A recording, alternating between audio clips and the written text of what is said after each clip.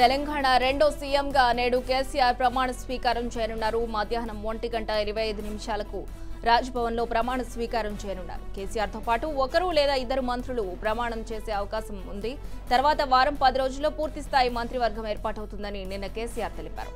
ప్రమాణ స్వీకారానికి రాజ్భవన్లో ఏర్పాట్లు చేశారు. కేసీఆర్ ప్రమాణ స్వీకారానికి వీవీఐపీలకు గవర్నర్ కార్యాలయం ఆహ్వానం పంపింది. ప్రమాణ స్వీకారం తరువాత అతి త్వరలో శాసనసభ సమావేశం కానుంది.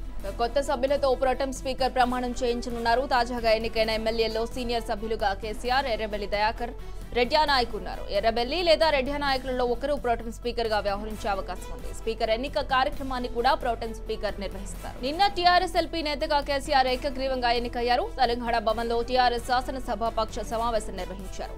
ఎల్పీ నేతగా కేసీఆర్ పేరును వాలేరు ఎమ్మెల్యే గొంగిడి సునీత ప్రతిపాదించగా ధర్మపురి ఎమ్మెల్యే కొప్పుల ఈశ్వర్ బలపరిచారు.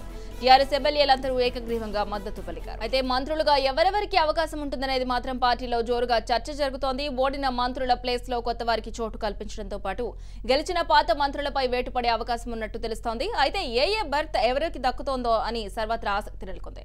కేవీ అంశాలకు సంబంధించి మరిన్ని అప్డేట్స్ మా రిపోర్టర్ వెంకటరాజు అందిస్తారు. వెంకటరాజు చెప్పండి ఈ రోజు మధ్యాహ్నం తెలంగాణలో రెండోసారి సీఎంగా కేసీఆర్ ప్రమాణ స్వీకారం చేయబోతున్నారు. డీటెయిల్స్ ఏంటి? అలాగే కేసీఆర్తో పాటు ఈ రోజు ఎవరు ప్రమాణ స్వీకారం చేసే అవకాశాలు కనిపిస్తున్నాయి?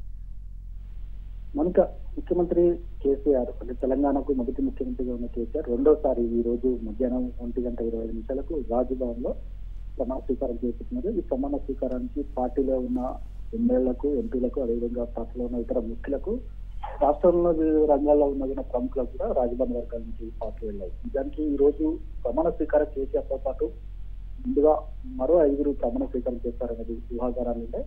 కానీ కేసీఆర్ మాత్రం నిన్న స్వయంగా నాతో పాటు ఇంకొకరు ప్రమాణ స్వీకారం చేస్తారని చెప్పారు. ఇప్పుడు అతనితో పాటు ఎవరు అనేది కూడా ఇంకా పార్టీ నుంచి ఒక క్లారిటీ రాలేదు. కానీ మనకు అందిన సమాచారం మేరకు మైనార్టీ వర్గాల నుంచి మహమ్మద్ అలీ తెలంగాణ తొలి ప్రభుత్వంలో డిప్యూటీ సీఎం గా పనిచేసిన మహమ్మద్ అలీకి ఈసారి కూడా కేసీఆర్ తన మంత్రివర్గం తీసుకునే ఛాన్సెస్ ఎక్కువగా ఉన్నట్టు కూడా టీఆర్ఎస్ పార్టీ వర్గాల్లో పెద్దది ఎందుకంటే మైనార్టీలు తెలంగాణలో మెజార్టీగా ఉన్నందున వారిని సంతృప్తి పరచడం కోసం అదే సమయంలో ఎంఐఎంతో ఉన్న స్నేహ సంబంధాలను కొనసాగించాలంటే ఖచ్చితంగా మైనార్టీ వర్గానికి అవకాశం ఇవ్వాలి అదే సమయంలో మైనార్టీ వర్గం అంటే హైదరాబాద్ సంబంధించి అమ్మ అలీకి అవకాశం ఉండే ఉండే ఛాన్సెస్ ఉన్నాయని మాత్రం పార్టీ వర్గాలు చర్చ జరిగింది ఇక మిగతా జిల్లాలో ఉన్న కొంతమంది మైనార్టీ ఎమ్మెల్సీ ఉన్నా కానీ వారికి సీనియార్టీ కానీ ఇంత పరిపాలన అనుభవం లేదు కాబట్టి హైదరాబాద్ నుంచి మైనార్టీలకు ఇస్తే మంచి పరిణామాలు ఉంటాయి.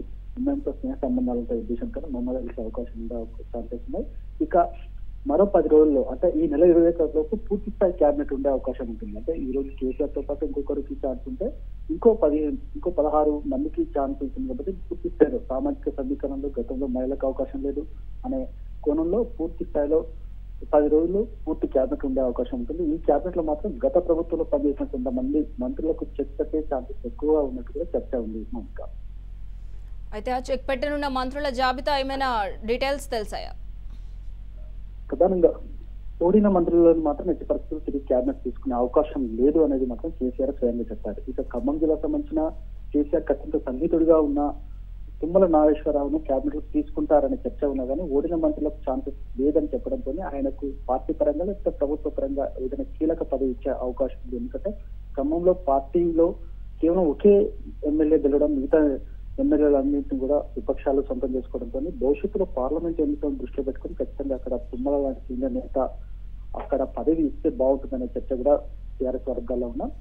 ఇక మిగతానికి ప్రస్తుతానికి ముగ్గురు ఎమ్మెల్సీలు తెలంగాణ తొలి ప్రభుత్వంలో క్యాబినెట్లో ఉన్నారు. వాళ్ళు కడియశ్రీ గారి ఆయన నరసింహారెడ్డి మహమ్మద్ అలీ. మహమ్మద్ అలీకి చేస్తే మిగతా ఇద్దరు పరిస్థితి ఏంటి? వారిద్దరిలో ఎవరైనా దళిత సామాజిక వర్గం నుంచి కడియని తీసుకుంటారా? లేకపోతే పార్టీలో మొదటి నుంచి ఉన్న నాయన నరసింహారెడ్డి ఛాన్స్ ఇస్తారని చర్చ ఉంది. ఇక మరోవైపు ఉత్తర తెలంగాణ సంబంధించి చాలా మంది ఎమ్మెల్యేలు క్యాబినెట్లకు రావాలని తహ- తహలాడుతున్నారు. అందులో ప్రధానంగా ఎర్రబల్లి దయాకర్ రావు అదేవిధంగా కేటీఆర్ కత్తిలో సందిగ్ధంగా ఉన్న వినయ్ భాస్కర్. ఇలాంటి కొంతమంది నేతలు కూడా తమ యొక్క అదృష్టం పరిశీలించుకునే పనులు ఇప్పటి నుంచే పడ్డారు. మొత్తానికి కేసీఆర్ మాత్రం భవిష్యత్తులో దృష్టిలో పెట్టుకొని ఆయన జాతీయ రాజకీయాలకు వెళ్తే ఇంకేమైనా ఇక్కడ ఇబ్బంది కలగకుండా ఉండే విధంగానే క్యాబినెట్ యొక్క రూపు ఉంటుందనేది మాత్రం టీఆర్ఎస్ వర్గాల్లో ఉన్న చర్చ అని చెప్పుకోవచ్చు. Right. Thanks for the updates, Venkatraj.